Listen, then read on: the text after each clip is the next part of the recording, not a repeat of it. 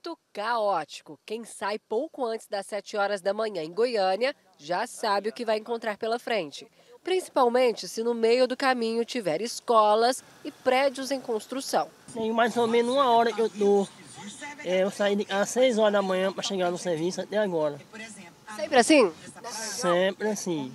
Essa é a realidade de setores como Marista e Bueno. O semáforo abre, fecha e o motorista praticamente não sai do lugar. Dá até tempo de bater aquele papo com calma com a equipe de reportagem. O Bruno mesmo conseguiu pontuar todos os problemas do trânsito de dentro do próprio carro. A pessoa corta pela direita, fecha cruzamento, buracos, você não vê um agente de trânsito para ajudar, complicado. Nossa equipe entrou no carro da reportagem e percorreu alguns pontos de engarrafamentos do setor Bueno. Logo, os flagrantes de irregularidades apareceram. Olha só, o trânsito estrangulado, a pessoa acaba descendo ali no meio da rua, né? Aluna de um colégio, provavelmente, agora 6h57 da manhã, poucos minutos aí para a aula começar. Essa é a situação que a gente vê a todo momento aqui na região do Bueno. No mesmo lugar, nessa rotatória da Avenida T55 com a T30, motoristas impacientes fazem a rótula ao contrário, na contramão. Sem lugar para estacionar, muita gente para em fila dupla para deixar as crianças nos colégios. Outros ocupam a calçada ou ignoram a faixa zebrada, desrespeitando o limite da esquina. Letícia confessa que já deu aquele jeitinho para poder parar. Já parei em fila dupla, porque realmente não tem como estacionar. E ela não é a única. Sem querer, acaba entrando na contramão. Além da grande quantidade de escolas muito próximas umas às outras, também tem muitos prédios sendo construídos ao mesmo tempo aqui no setor Bueno. Na rua T53, olha só, a gente já consegue ver um prédio ao lado do outro em construção. E basta dar alguns passos, a gente encontra uma escola aqui na esquina e um novo edifício sendo erguido. Muitas vezes, esses prédios ocupam vagas ali para carga e descarga de caminhões e também para caçambas de entulho. Depois de prontos, centenas de pessoas passaram a ocupar esses edifícios. E o impacto disso no trânsito, a gente já sabe. É complicado. Você tá doido. Acho que tinha que dar um jeito de aumentar mais o tempo de sinaleiro aí. Porque aqui é complicado. Escola aí, ó. Estacionar não tem jeito? Não, Deus me livre. Tem como não.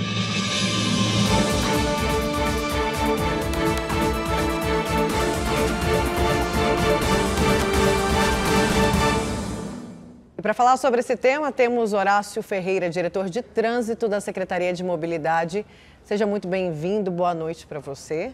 Boa noite, Nayara. Eu já começo com essa frase final do, do, do que a, a Patrícia ouviu, né? Na nossa fonte falou assim: um pai tem que resolver.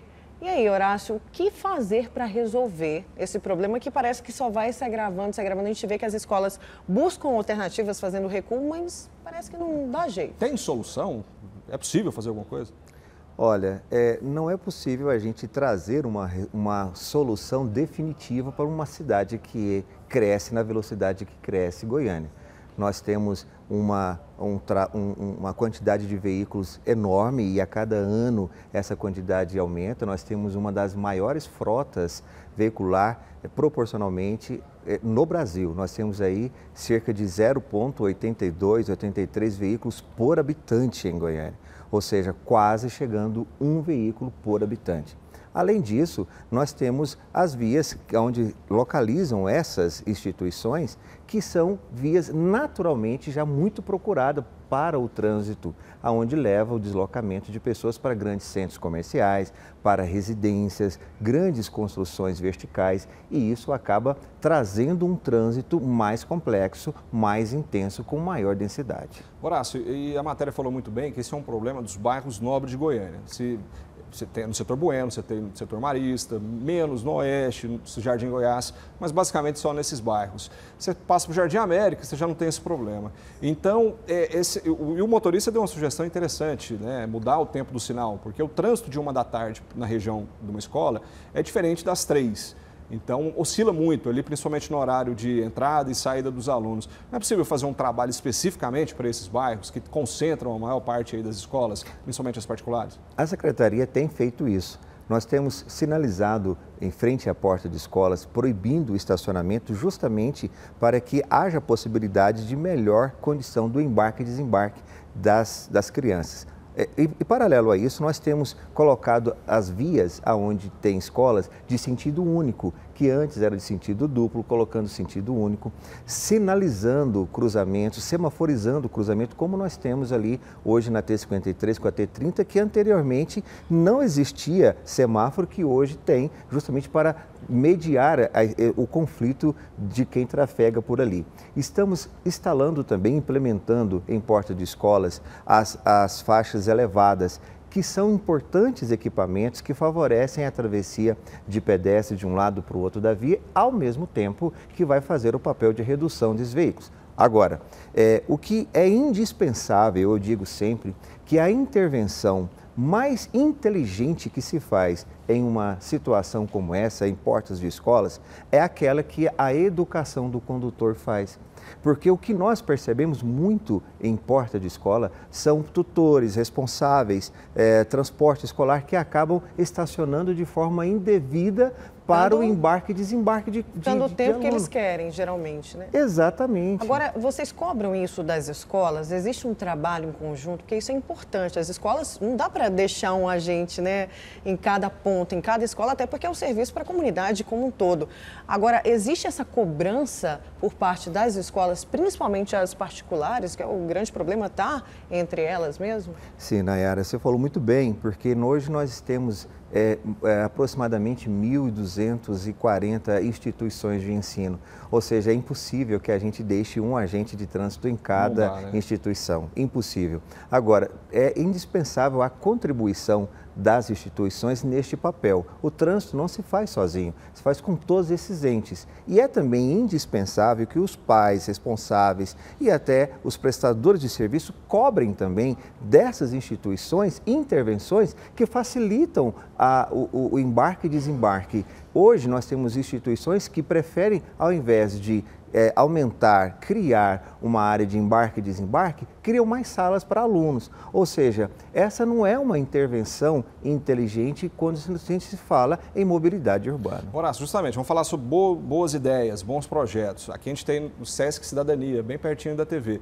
Lá criou um espaço exclusivo para as vans de transporte escolar. Então você não tem tumulto de van ali nesse horário de desembarque, né, de chegada de alunos. Então é uma boa iniciativa. Excelente. Tem outros, outras ideias que algumas escolas também criaram que resolveram o problema daquele trânsito ali no entorno. Né? Sim, nós temos escolas ali no setor Bueno que alugaram áreas é, vagas e colocaram estacionamentos. Nós temos instituições que é, criaram o estacionamento próprio para que a pessoa possa deslocar, deixar o seu veículo nessas áreas. Mas o que nós percebemos é que mesmo com essas áreas que as escolas acabam adquirindo, alugando para os seus para os pais, esses pais acabam deixando os seus filhos em locais proibidos porque é rápido, porque acha que até entrar no estacionamento, na área de embarque e desembarque, deixar a sua criança e sair é perda de tempo, prefere fazer isso deixando a criança na faixa de pedestre, sobre a faixa de pedestre, no meio da rua, no meio da rua sobre o passeio.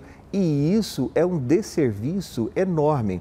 Por quê? Primeiro, por uma questão de educação, porque o pai é, é, a pai e a mãe são referências para essa criança como modelo de educação. Se assim o faz na via pública, muito pouco eu tenho condições de fazer e toda a equipe com esse, com esse aluno. Na verdade, eles querem a comodidade, deixar na porta da escola e nem sempre isso é possível, né? Agora, existe algum projeto de educação também? Por exemplo, nessa época desse retorno das aulas, a gente sente esse trânsito mais pesado, isso por conta de tudo que a gente já viu agora. Existe algum trabalho, algum projeto de trabalho pontual, por exemplo, essa semana a gente vai para tal escola, trabalhar ali com os pais, para ver se entra na cabeça que realmente todo mundo tem que fazer um pouquinho a parte? Sim, temos. Hoje, somente no mês de fevereiro, nós já fizemos 270 atuações nas portas de escola, ou seja, cerca de 20 atuações por dia. E nós temos um programa que é chamado Monitor de Mobilidade, que é aquele onde que a escola pode levar para nós o monitor dela, nós realizamos o treinamento, entregamos um colete identificado, um boné e um apito para que ele possa auxiliar nesse trabalho junto às escolas. Horácio Ferreira, diretor de trânsito de Goiânia, obrigado mais, mais uma vez pela participação. Estamos à disposição. Obrigada, Horácio. Exponha. E uma boa notícia, nós abrimos o Goiás Record com o caso do paciente Luiz Gustavo Amaral da Costa. Ele está na UPA Flamboyant, em Aparecida, e recebeu o diagnóstico de leptospirose. O homem esperava por uma vaga no HDT e a Secretaria Estadual de Saúde acabou de informar que ele deve ser transferido nas próximas horas. Ainda bem. Ainda Vambora? bem. É, tinha que ser bem rápido que ele precisava. Vamos. O Goiás Record termina aqui, fique agora com o Jornal da Record. Uma ótima noite. E logo depois tem Jezabel e Gênesis. Ótima noite para você.